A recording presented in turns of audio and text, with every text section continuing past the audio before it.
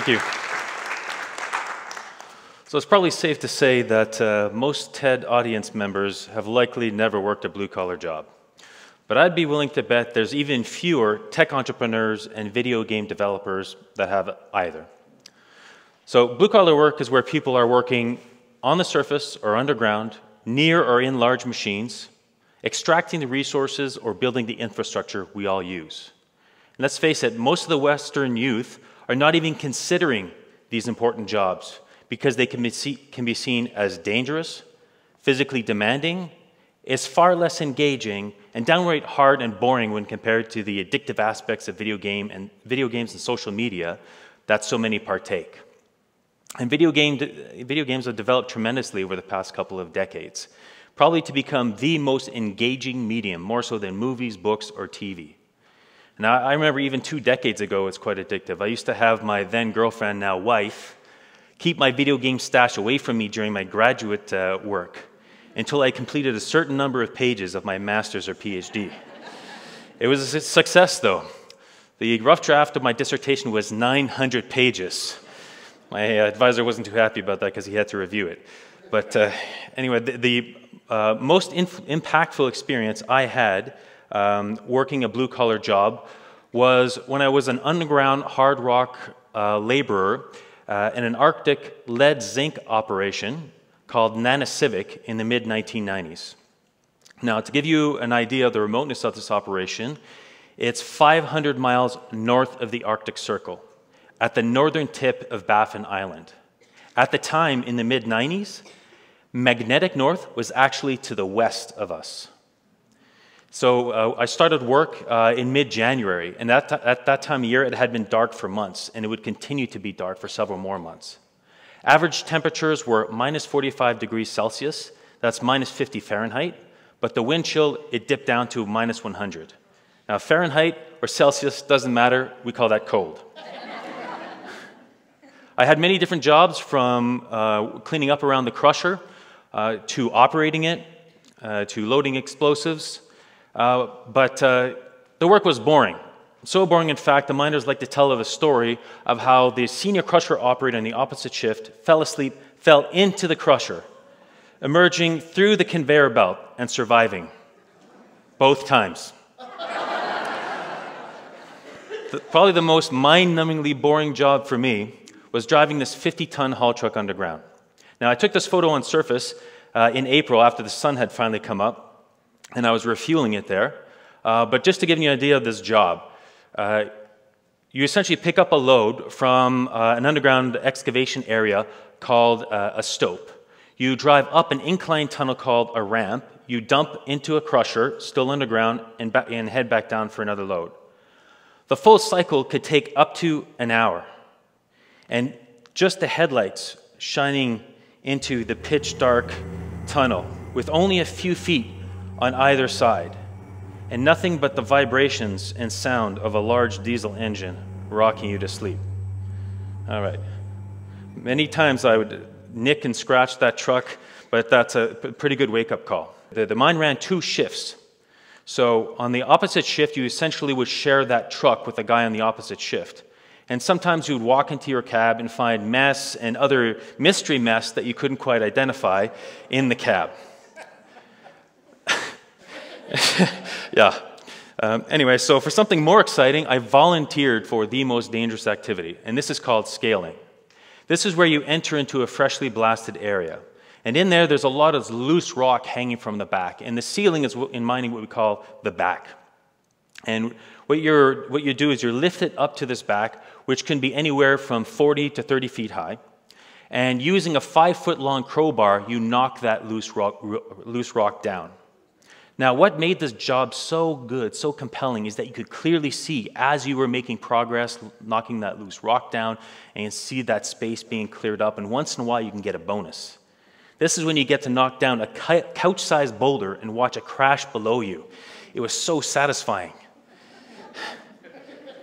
Dangerous, but not boring.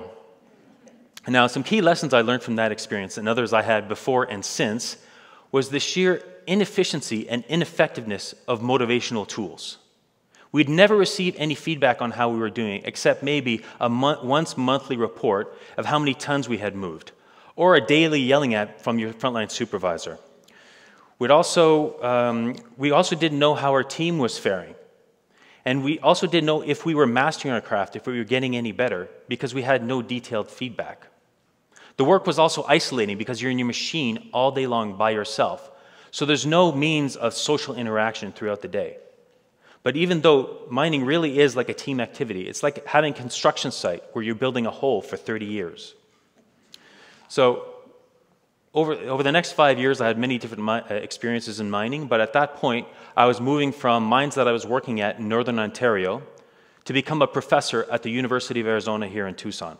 My research was to specialize in data mining of mining data. yeah. Now, once established, I also started an IT services company, largely to gain inroads with the US mining industry and to get access to their data. Now, a key thing we noticed from our customers was that the managers and most of the people at the mine were not really using the data they were generating.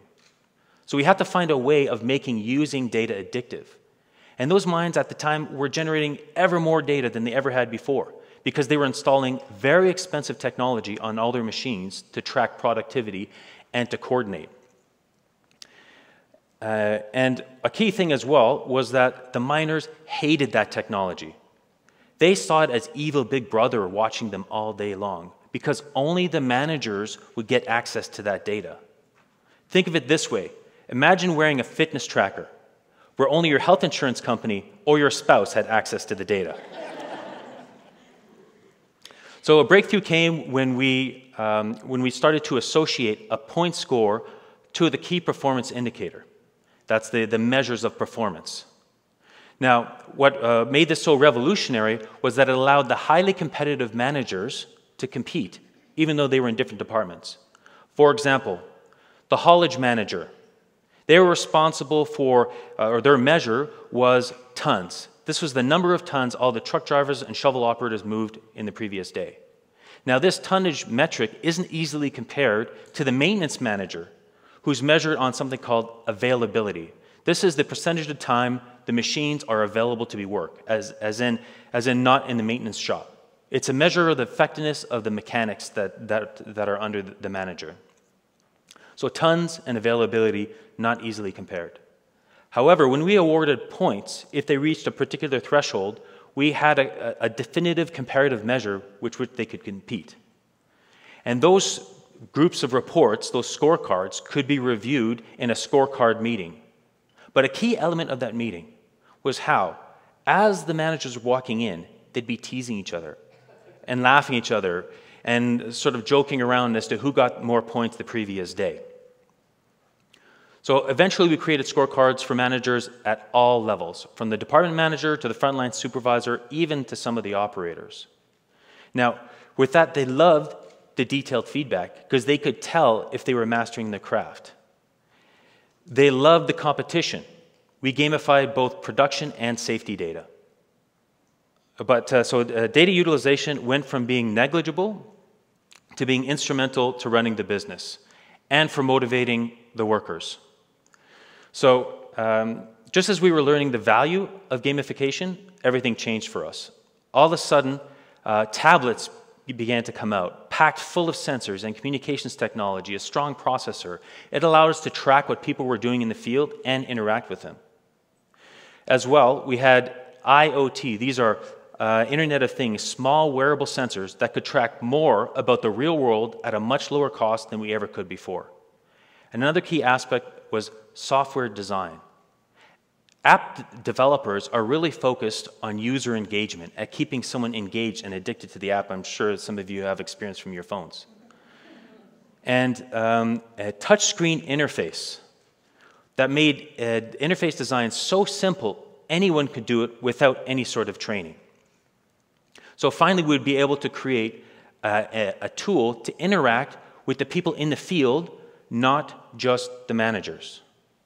So many companies set out to develop a, um, a surface and underground uh, uh, productivity and safety tracking app using uh, uh tablets and IoT, but a key element I wanted to include was gamification.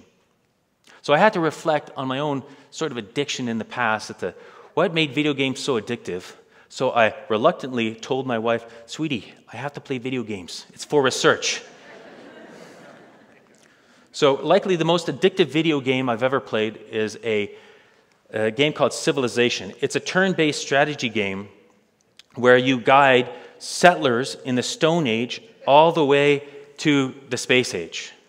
Now, what made this game so addictive is that throughout the game, you always have a feeling of accomplishment because there's all these pop ups and little alerts telling you, oh, you just founded a city. Oh, you just researched the wheel or gunpowder. So it gives you a constant sense of feedback through accomplishment. Now, I can tell you many times, my wife would catch me at four in the morning, shaking me out of my stupor, my suddenly, sudden realization I've been playing all night and that I've had to go to the bathroom for the past four hours. now, taking this back to mining, I could be driving my truck for 10 long hours and get no feedback at all. The only thing I would look forward to at the end of a hour long cycle was clicking the little tally machine that would count the load. However, with this new technology, we can provide feedback to, to the operators throughout their shift. We can give them points for filling out their safety forms properly and on time, for starting their shift on time, for not speeding, for being productive. Many points and awards are possible. Another favorite type of game of mine are first person shooter multiplayer battlefield games, where online, two teams square off against each other in big maps of 32 to 64 players. Now, these games are designed around teamwork and military tactics. So, older, more coordinated players can sometimes beat younger players with perfect thumb eye coordination. These games are also about uh, the social experience because online you can join into squads within the team of up to five players and communicate through a microphone and coordinate.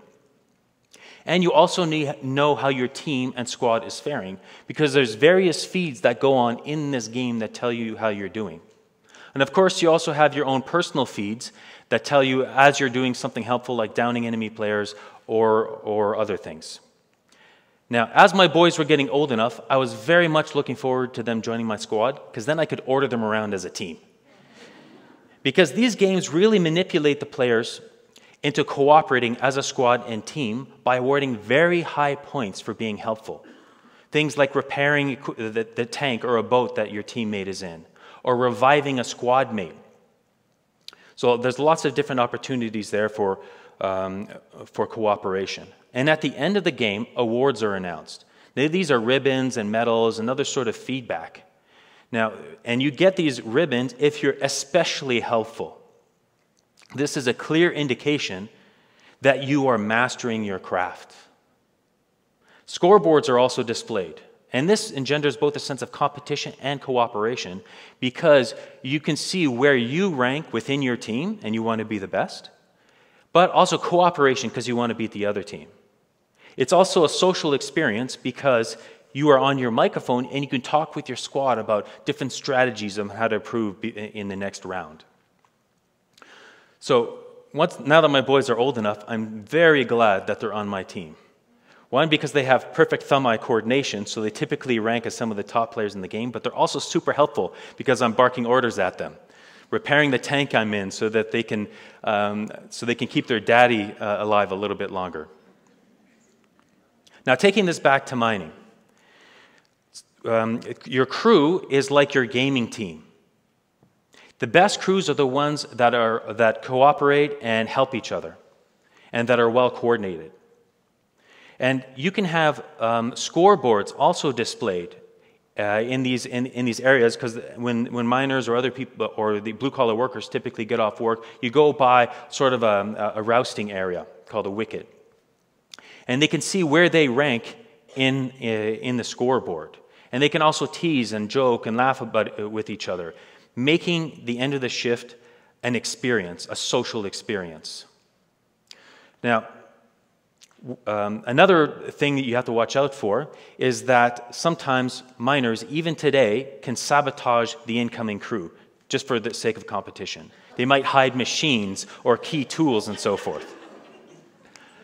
So, to correct this, though, another type of very engaging um, uh, social feedback as possible, and that's reviews. These days, I would never buy a product or hire a service without first reading this, uh, the review. And I guarantee you, the manufacturers of those products and the service providers read those reviews religiously to find ways to improve. So, what we can do for miners that are incoming, they can give stars and another feedback on their, on their safety reports that could be read by the outgoing crew the next day. Now, I wish I had that capability because of the many times I'd walk into a, a disgusting truck cab or into a workplace full of safety issues and clutter. Now, no matter where we bring this technology, from the highlands of Peru to the jungles of Ghana, as soon as we introduce gamification and show them how it works, they immediately start to ask, Oh, how can I get more points? And they started teasing each other right there in front of us of who's going to get more points. So these concepts are truly universal.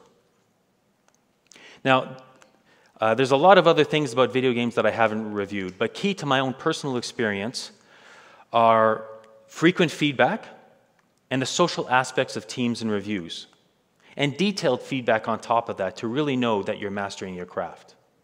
Now, as IoT uh, becomes more uh, adapted for blue collar work, and if we take the data coming off larger, smarter machines, we can provide ever better feedback uh, for, for the blue collar worker.